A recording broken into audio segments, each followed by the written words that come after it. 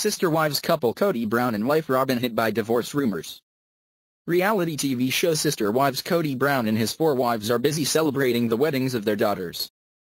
But, according to a latest report, divorce rumors have hit Cody Brown and wife Robyn even though the family keeps denying the news. A Radar Online report has claimed that the polygamist and his fourth wife Robyn are not on good terms off late and that they are on verge of separation.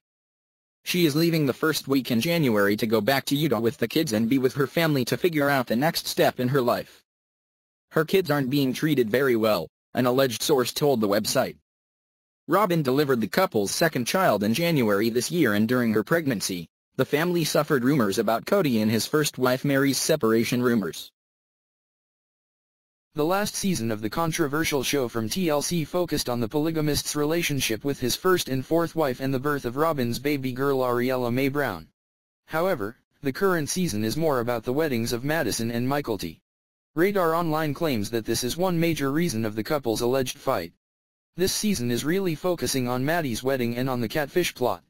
Robyn's always gotten her way, now she's totally done. She refuses to be placed on the back burner. She burned a lot of bridges back home, but she is ready to repair old relationships. Robyn is looking to move back home full-time. She has to wait till she's done with the show. Things with Kody are not the happily ever after like she was expecting, the source added. However, in November, Robyn has dismissed similar rumors and said, I just read that I am looking into getting a divorce and I am getting my own show? Huh? I didn't know that. What a bunch of stupid lies.